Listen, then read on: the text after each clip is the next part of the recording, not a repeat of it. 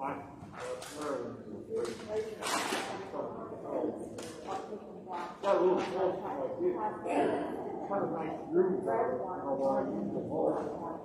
that's pretty,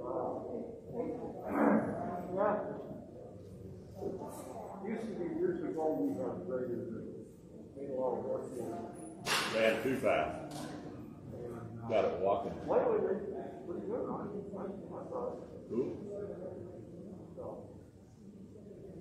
I, I thought, Who? so. What's that? Because sometimes I sneak up the Bayfield Road on your road to get over there to Ruth. Ruth and Jack Michaels, Bill farm, Bill Longley farm, those. Ruth Curtis. Because he just knows everything. No, I just happened that way. Well, and I'm an equipment operator too, and I look at it, why did they do that? Why did they do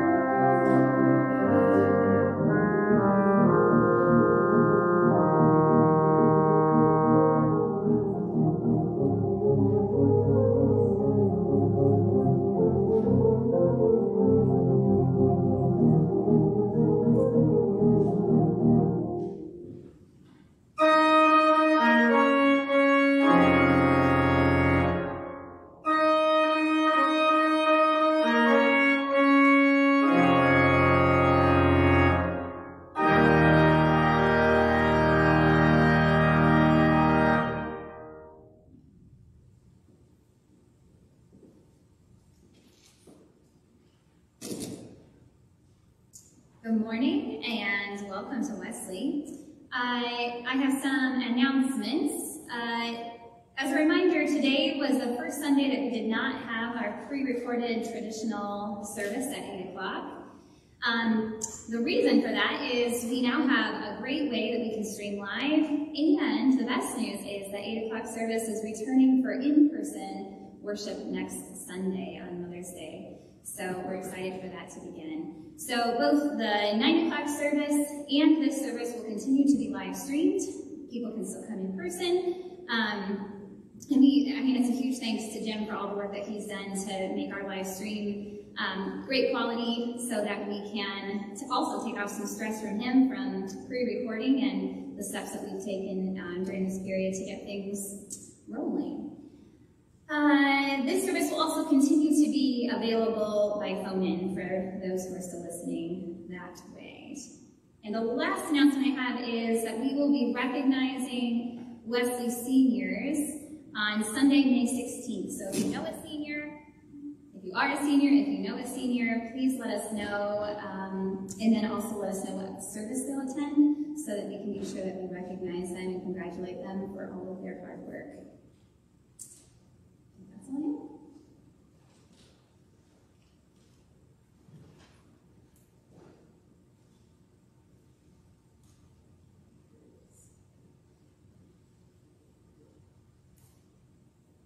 Maybe I'm not beginning.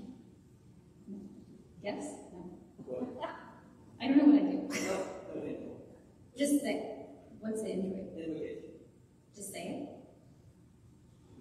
The invocation. Okay. Almighty God, your Son, Jesus Christ, is the truth, and the life. Give us grace to love one another, to follow in the way of his commandments, and to share his risen life, who lives and reigns with you and the Holy Spirit, one God, now and forever.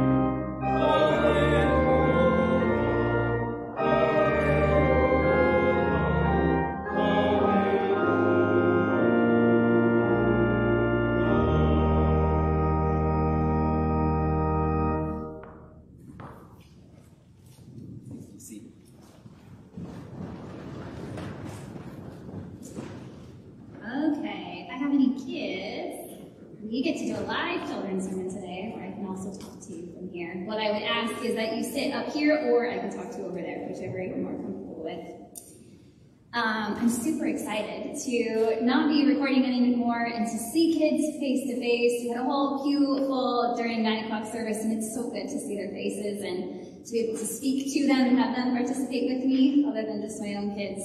So, um, what a joy. So, have you ever noticed that in Jesus' teachings, a lot of times he uses imagery to make things easier to understand? The difference in today's sermon is he chose a grapevine, but, and to us, it's not nearly as um, relatable, maybe. Cornfields would be relatable to us, wheat fields would be relatable to us. Grapes, not so common for us. There are some in Iowa, but we don't have the best climate for that. But today, he does talk about um, grapes and a vine. And the reason he did that is because the people, his audience that he was speaking to, were very familiar with grapevines. So I have some grapes that I did not get from the vine, but I did get from the Hy-Vee.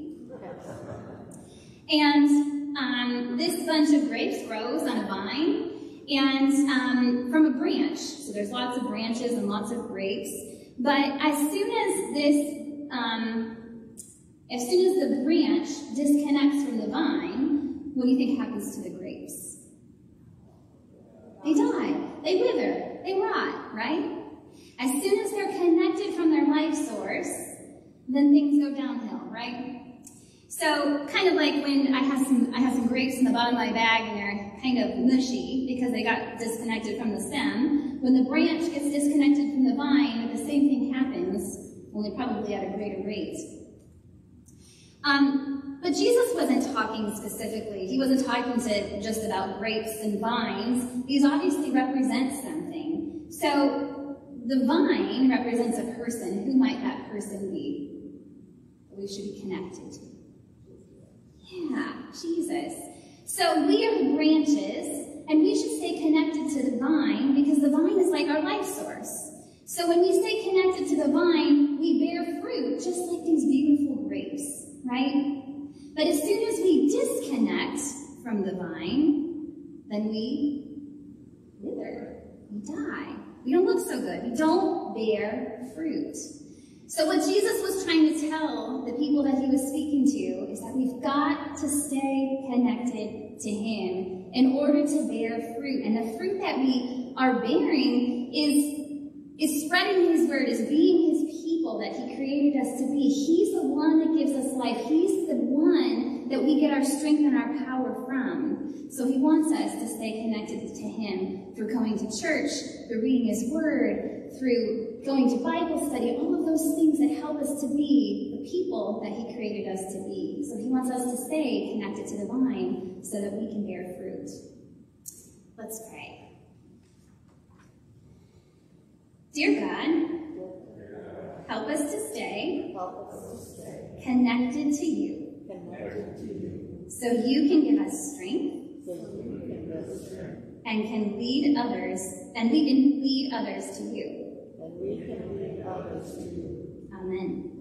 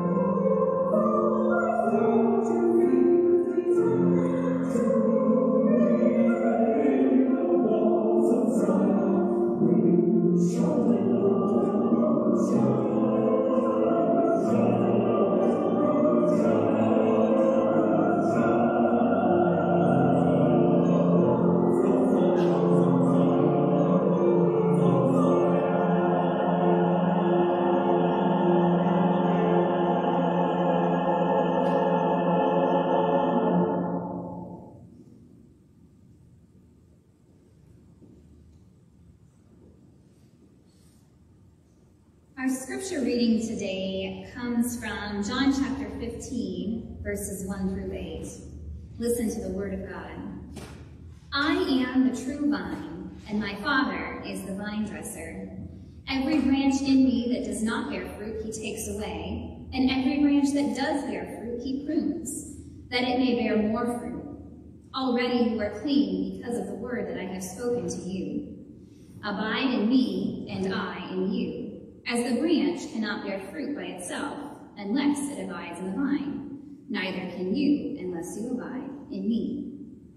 I am the vine, you are the branches. Whoever abides in me and I in him, he it is that bears much fruit. For apart from me, you can do nothing. If anyone does not abide in me, he is thrown away like a branch and withers. And the branches are gathered, thrown into the fire, and burned. If you abide in me, and my words abide in you, ask whatever you wish, and it will be done for you. By this my Father is glorified, that you bear much fruit, and so prove to be my disciples. The word of God for the people of God.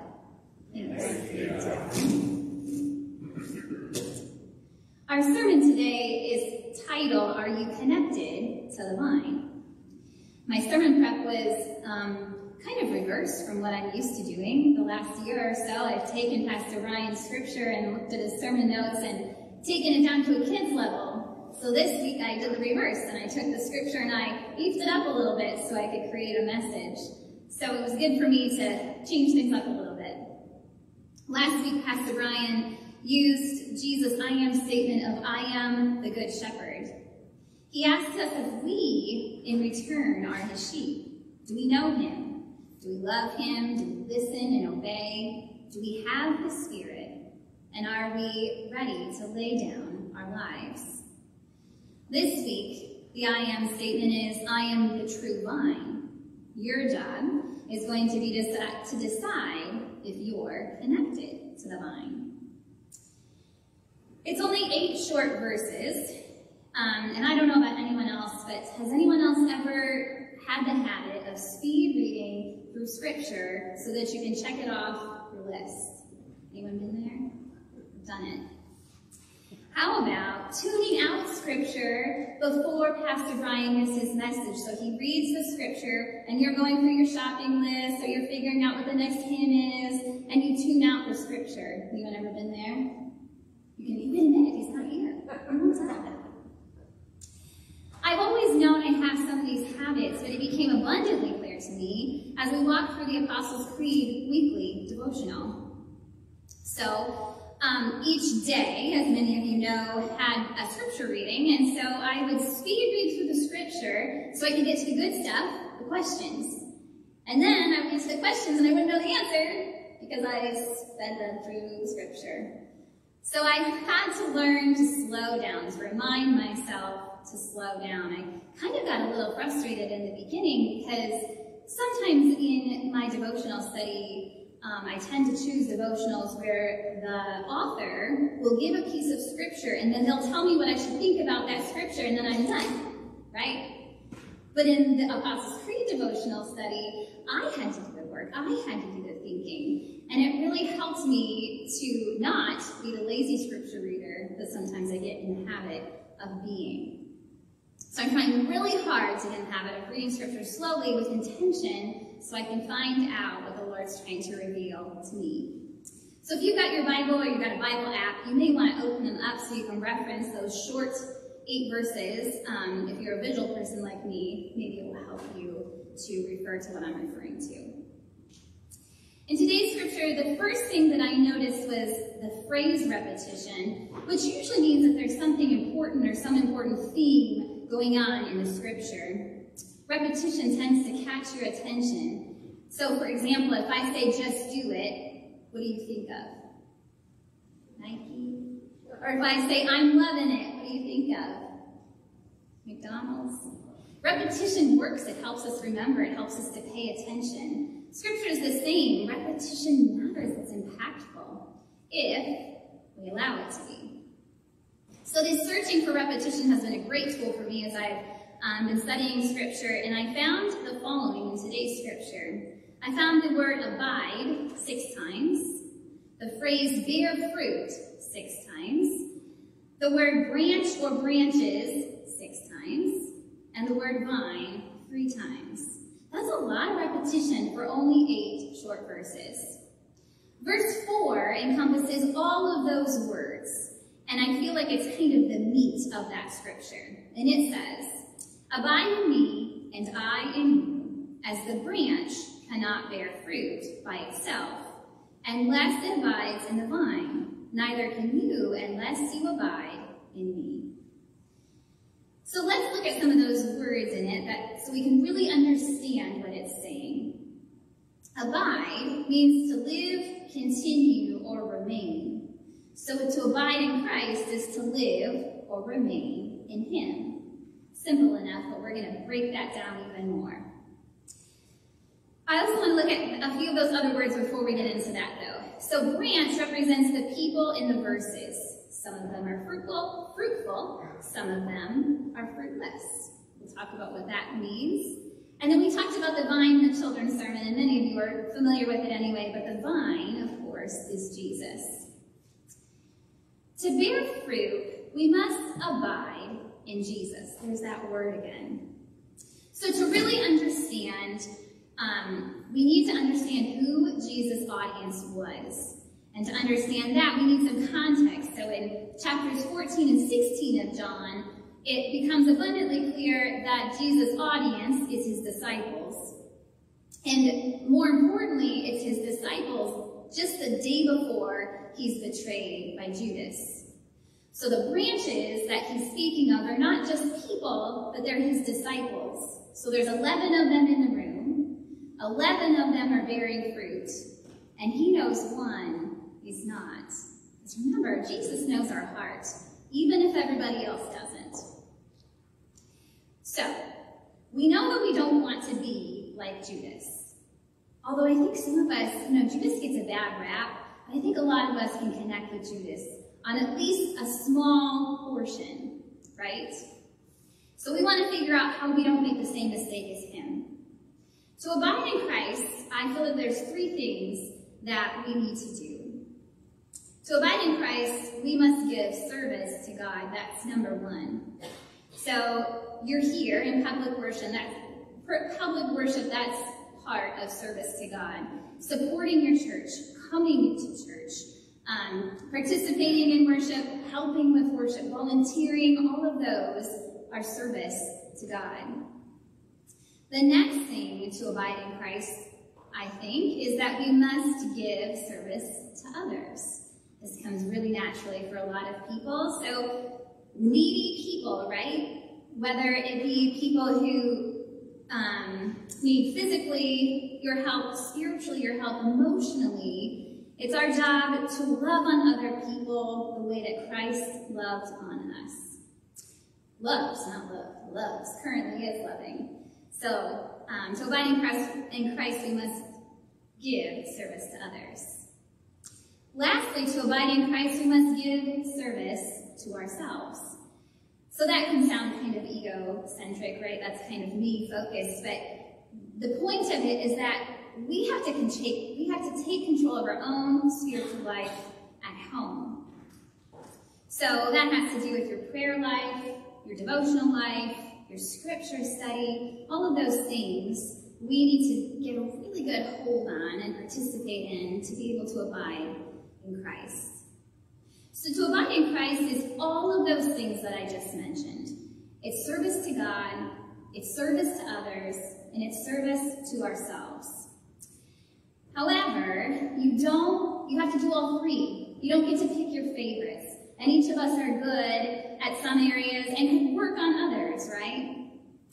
So coming to church is great, right?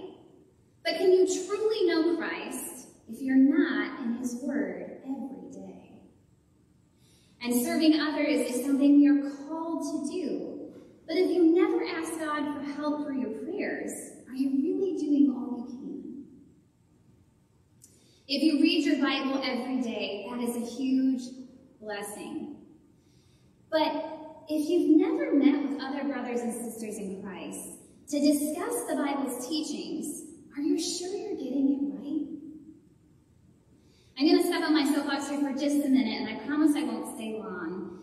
But I'm going to step up and say that you need small group. I think to be a strong Christian, that is a non-negotiable that you should be meeting with other brothers and sisters in Christ.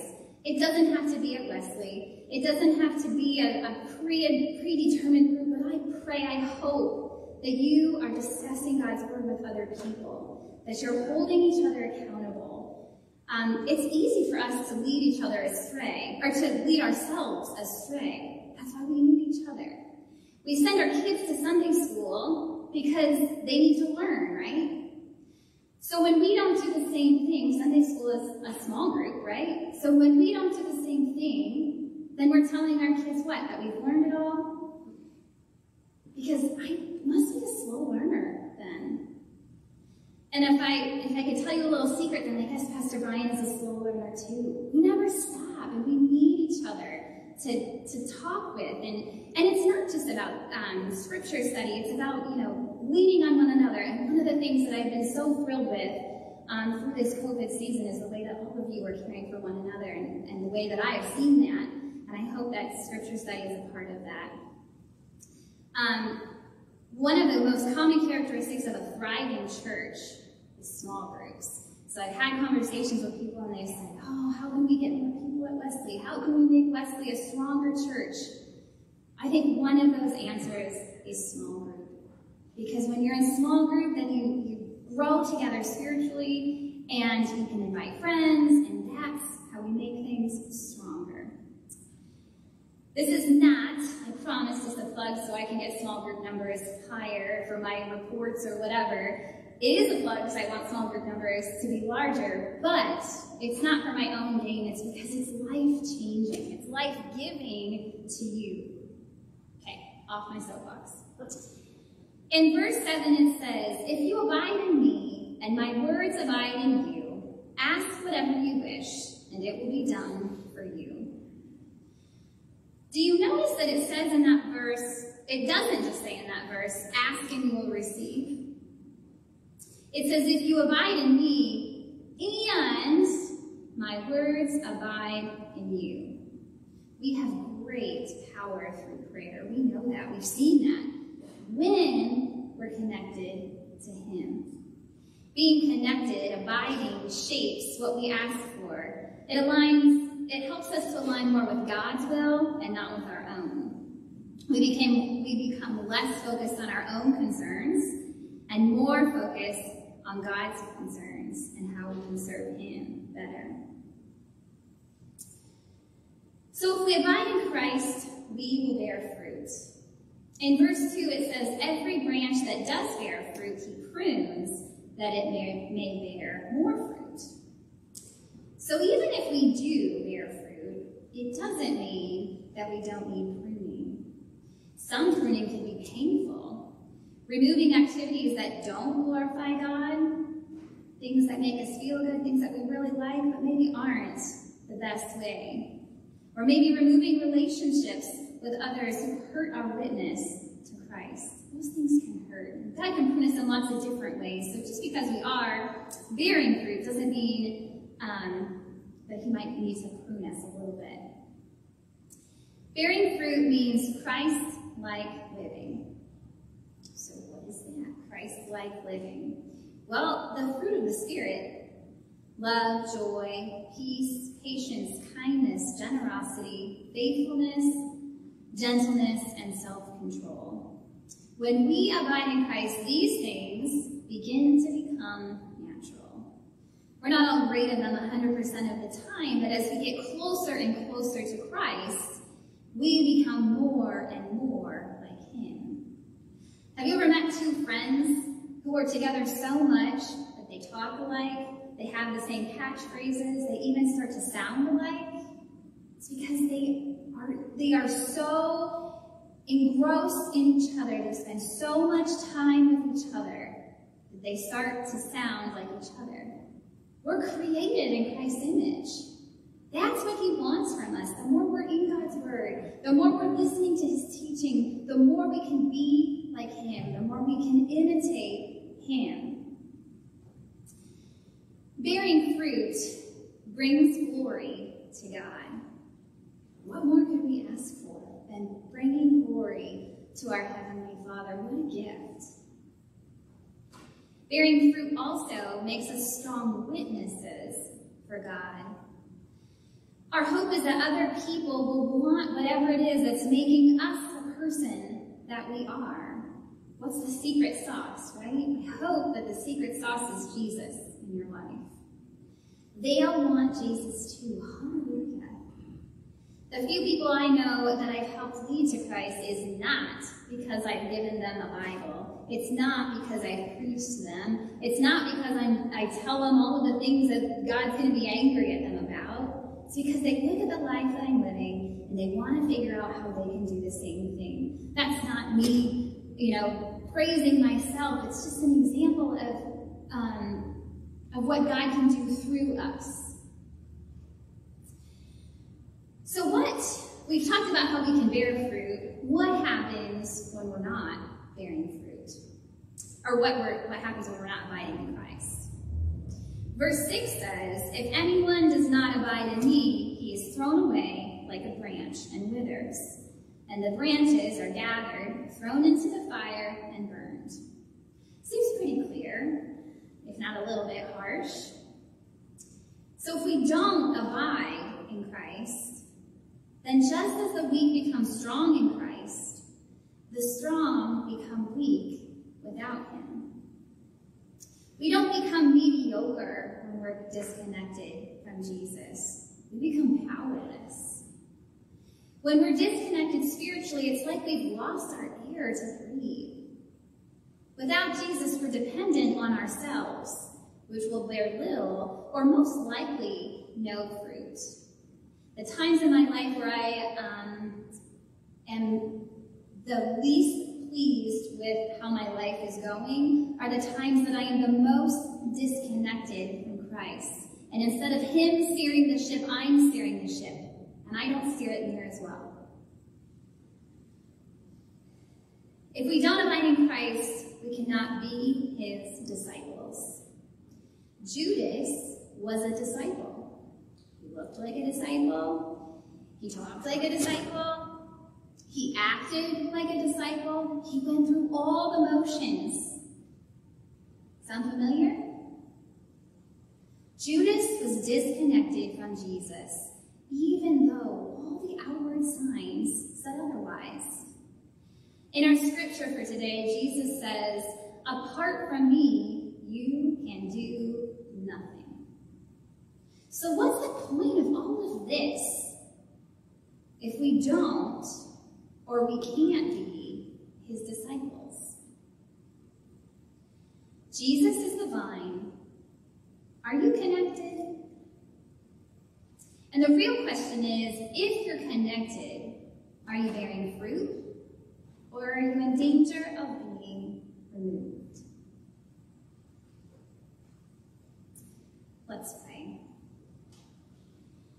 Dear God, help us to stay connected to you through our relationship, actions, and service. We pray, God, that we never get comfortable with good enough, that we're always striving to know you more and serve you more purposefully. Reveal to us, Lord, the areas where we can strive to abide in you more strongly. Now, God, we pray that you would hear the prayers of each and every person here, in person or online. Lord, that you would hear the prayer on all our hearts as we lift them up to you, either silently or loud, singing, Lord, in your mercy,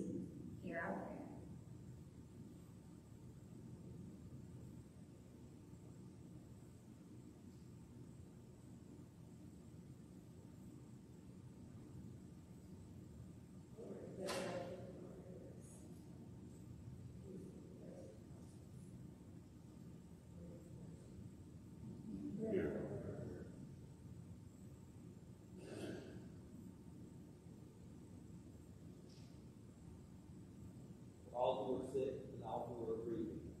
Lord, hear.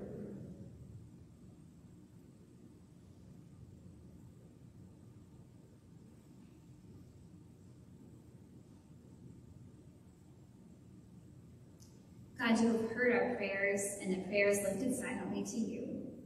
As you have heard our prayers this morning, we pray that you would hear us as we lift our prayers together in the prayer that Jesus has taught. Our Father, who art in heaven, hallowed be thy name. Thy kingdom come, thy will be done, on earth as it is in heaven.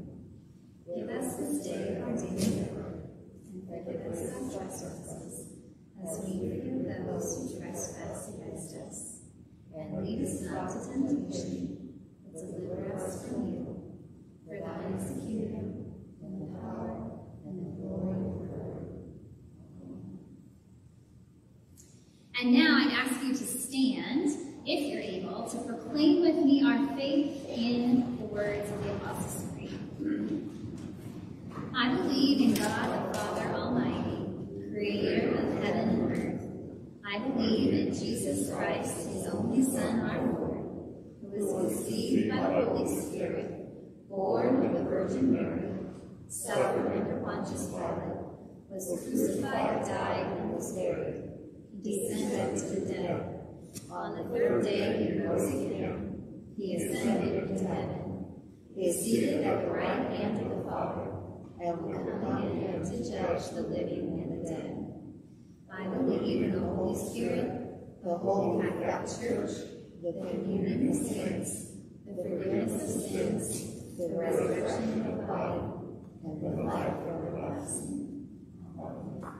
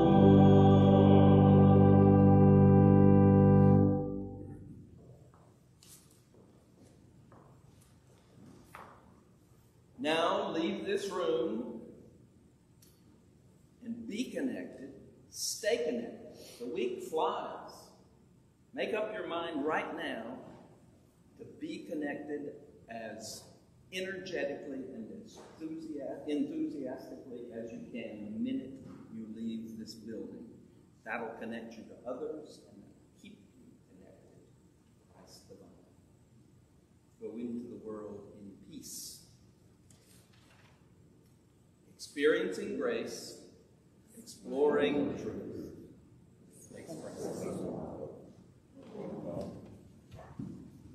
Ooh.